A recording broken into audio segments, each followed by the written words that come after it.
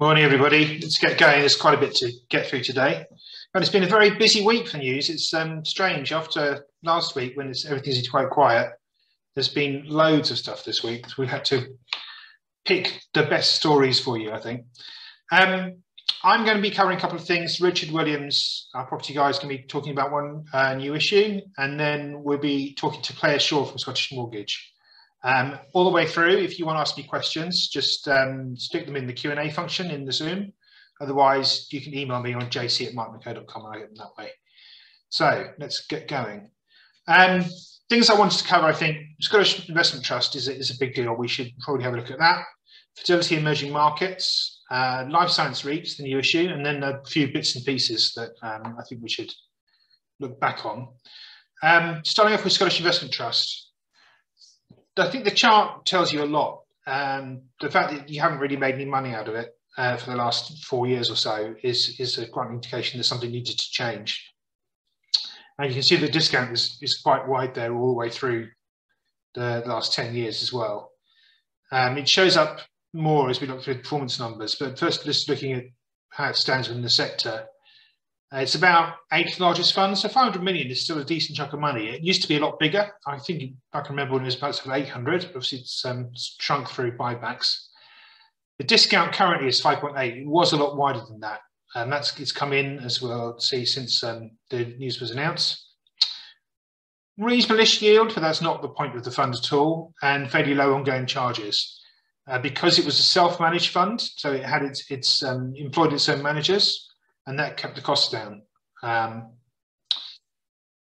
there's the performance numbers though, and as you can see, it's pretty much close to the bottom of the table. I've taken out the numbers from Keystone in there uh, for over a year because they obviously refer to a period when Keystone was a UK trust.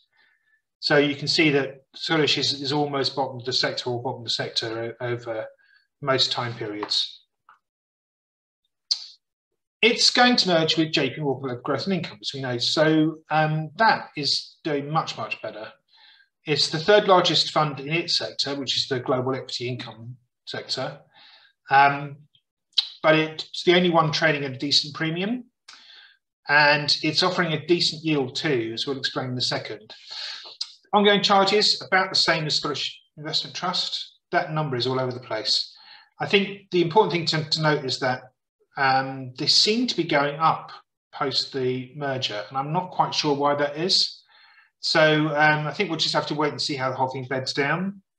But that increase is, is quite minimal, really, from 0.54 to 0.57. Uh, the yield in there gets reset at 4% of the NAV each year, so that will go up. And assuming the thing still trades on a 2 2ish percent premium, that would be about correct to about 3.9% yield on a share price market cap is going to end up being the second biggest fund in the sector. So nice and big and liquid and a sort of champion for the, for the global equity income sector, which I think is actually probably a bit small because you've got um, a couple of tiny funds in there or relatively small funds. I think there's probably room for another fund to, to uh, launch the global equity income sector, maybe even something to migrate still from UK equity income. We'll have to wait and see what happens. There's the um, performance numbers for JP Morgan Global Growth and Income, and you see it's a very different story. So really, it is at the top of the end of its table um, over most time periods. Partly that's because of its approach. So rather than trying to generate income by um, investing in high yielding stocks, it's investing in um, what it manages thinks is sort of the best opportunity at the time, which is pretty much a growth focus, focus portfolio at the moment and then converting some capital into income to pay this this four percent yield on NAV, um, and that has worked quite well for it um, over the history of the fund. Um, and it's obviously the, the way the Scottish Investment Trust is going to be run going forward.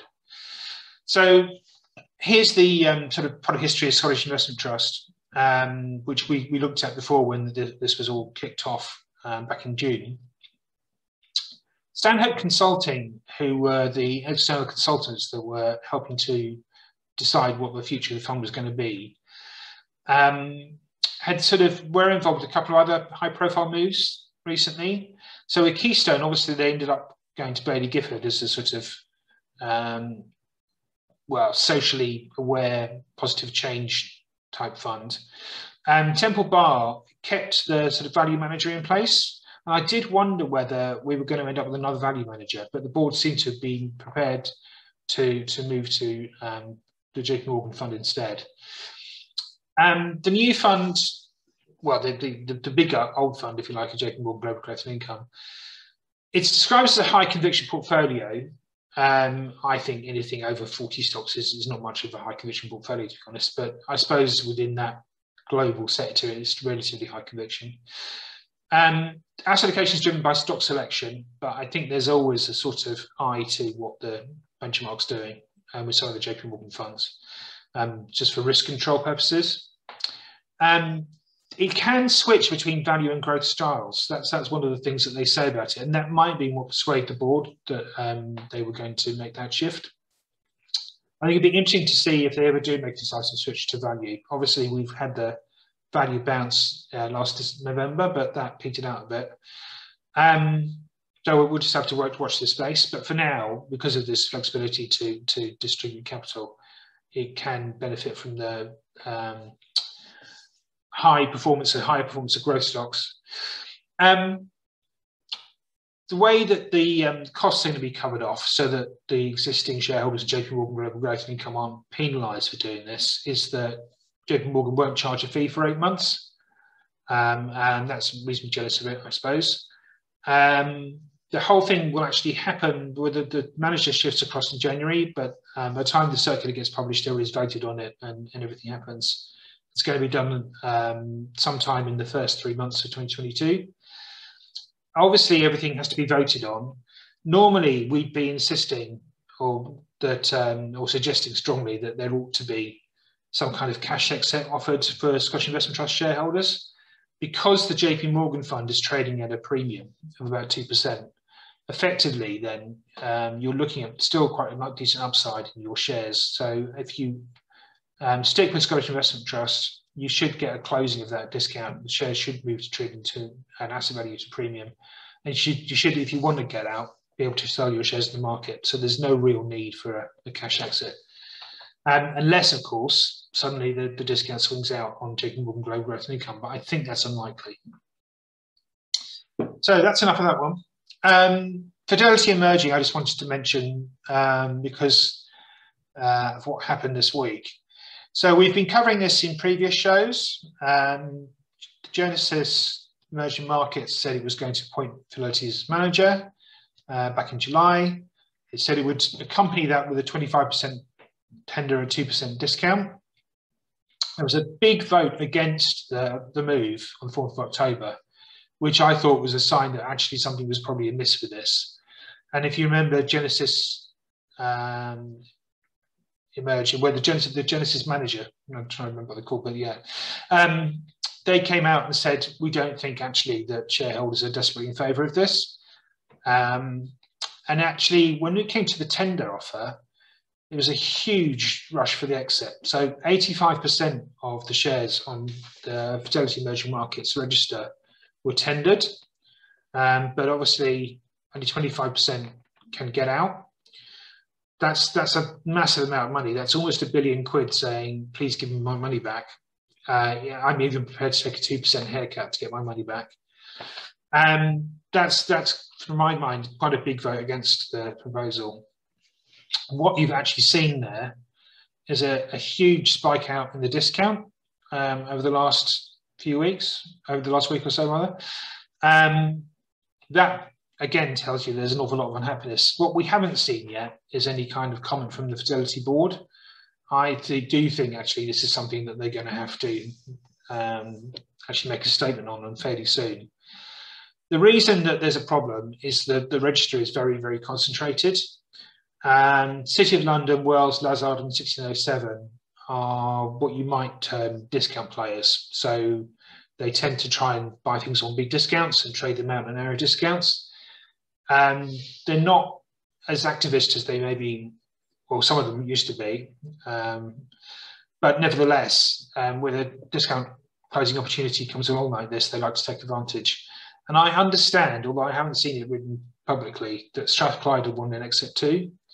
So that's a huge volume of, of stock that needs to be uh, place with new investors if the Fidelity merging thing is going to carry on going.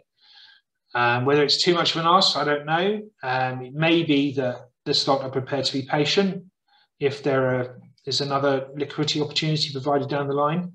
We'll have to wait and see, um, but uh, want to watch me. And now I'm going to hand over to Richard for a bit. Great. Thank you, James. Um, yeah, so really excited about this one. Um, there's nothing else like it in the in the REIT sector at the moment. So um, this week um, there's intention to float of um, Life Science REIT. So they're looking to raise 300 million um, and they'll invest that in life science properties. So these are sort of labs, high tech offices, testing facilities, data centers, things like that. And they're going to be focused in what they call the golden triangles so between um, London, Oxford, and Cambridge, um, where the majority of um, the life sciences companies are based, mainly because of the um, the institutions there like Oxford and Cambridge University and um, London College, um, Imperial College. Sorry. So the, these the spin-offs that come out of these um, these universities and these companies is, is massive. So that's where the, the, large majority of life sciences in the UK. So they're targeting a, a, a NAV total return of 10% a year, 5% dividend yield. Um, and they've, they've put a pipeline together, um, almost 450 million, 305 million of which is under exclusive negotiations.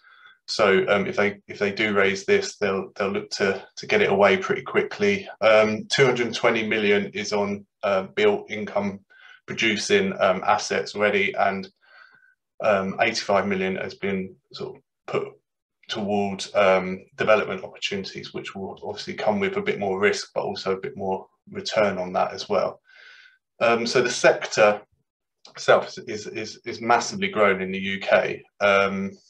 I've, I've, picked out a stat here of, um, of investment in UK life science companies uh, this year, 2.4 billion. That was to May, so the first five months of the year, um, against 2.8 billion last year, which was a record year. So it looks like there's going to be an, another record year of investment in, in UK life sciences. Um, and, and this cluster effect that they're going for around this, the, the Golden Triangle um, is exactly what we've seen in, in the US, in, in places like Boston, um, uh, San Diego, and, and, and, other places around there. So you, you, it, it's tied to the universities that specialize in this, obviously talent coming out of that those universities and also uh, companies that spin out of the universities. They, they, they sort of create an, uh, an, an, ecosystem really where um, innovation can, can thrive. So that's that's what's happening in the UK, and that's why um, Life Science REIT will uh, initially focus on this sort of golden triangle. Um, but there's also very little supply there of of state of the art, fit for purpose um, property. So um, so you've got this demand and supply dynamic going on, which will, which they hope will will create um, rental growth, which will, um, which will see them hit their sort of ten percent total return target.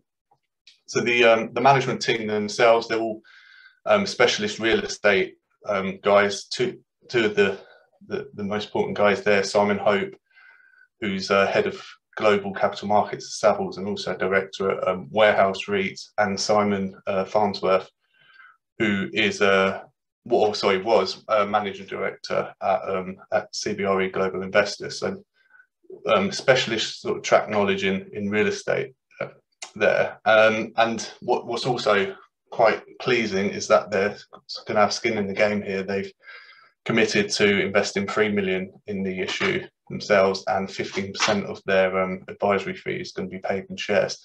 So um, yeah, really, like I said at the start, really excited about this one. I think this one's uh, got real potential for getting away and and um, and and growing rapidly once it does. Just one quick question, Richard, yeah. that's popped up here. Do we know how long the tenancies are for these properties? Not at the moment. Um, I, will have to look into that actually. Um, no, I haven't seen any anything on that. I, um, I'll look into that and, and come back to you. But um, yeah, I, Yeah, I think it's likely we're going to write more on this as we as this Yeah, as yeah, the topic progresses. Yeah, cool. Thank you. Um, those bits and pieces I promised. Um, firstly, third point we've we've covered a few times. Metage came out um, and backed AVI on um, AVI's efforts to try and get uh, a requisition to requisition a, a meeting of third point um, to put some discount control ideas. Um, the board have said no, we're still not going to do this. Their, their main argument is that because whatever is discussed is not legally binding on the board, um, they don't have to do it. Um, and they actually came out this morning uh, with a sort of quite a strong rebuttal against AVI. Um, best just, just read these things on our, our website and, and, make your own mind up, I think. Um, the other big dispute that's, that's rumbling on is the Gresham House, Gresham House Strategic. Um, there's been a lot of back and forth on that this week.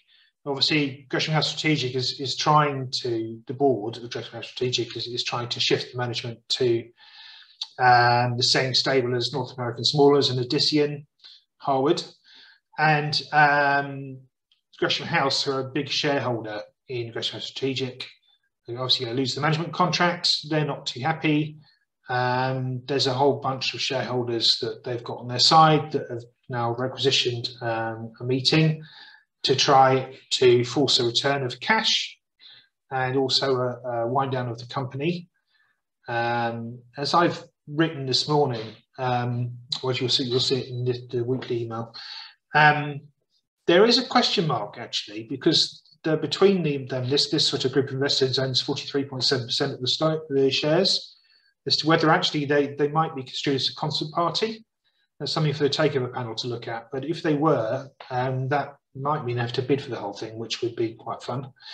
Um, and talking about sort of technical stuff with corporate governance, the Competition and Markets Authority has announced it's looking at the GCP student living deal.